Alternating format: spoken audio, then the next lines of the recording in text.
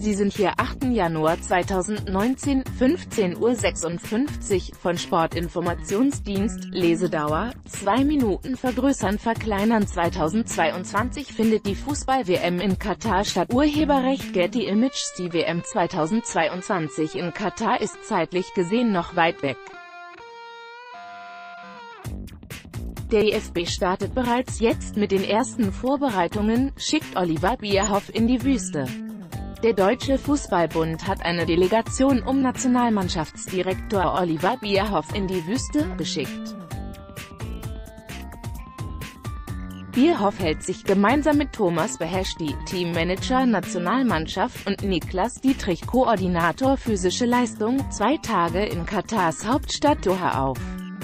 Die DFB-Abordnung will frühzeitig Erkenntnisse hinsichtlich der WM-Endrunde 2022 gewinnen, zudem möchten Bierhoff und Kollegen Ideen für den Bau der DFB-Akademie sammeln.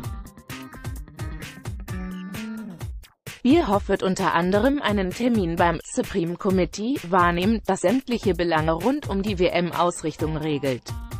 Dabei wird es unter anderem um die Suche nach einem geeigneten Mannschaftsquartier gehen, wenngleich unsere volle Konzentration auf einer erfolgreichen EM-Qualifikation liegt, sehe ich es als unsere Verantwortung an, den Blick zu weiten und schon heute Bedingungen, Gegebenheiten und Ansprechpartner kennenzulernen, um im Falle einer WM-Qualifikation auf ersten Erfahrungen zurückgreifen zu können, sagte Bierhoff.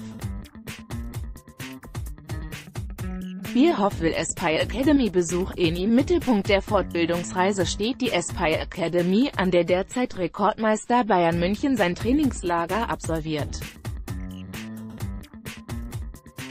Die Aspire Academy gehört zu den modernsten und beeindruckendsten Sportzentren der Welt, äußerte Bierhoff. Im Hinblick auf unsere DFB-Akademie können wir interessante Impulse gewinnen und den Austausch forcieren. Der Bau der Akademie im Frankfurter Stadtteil Niederrad soll im Frühjahr beginnen und 2021 abgeschlossen sein. Von Sportinformationsdienst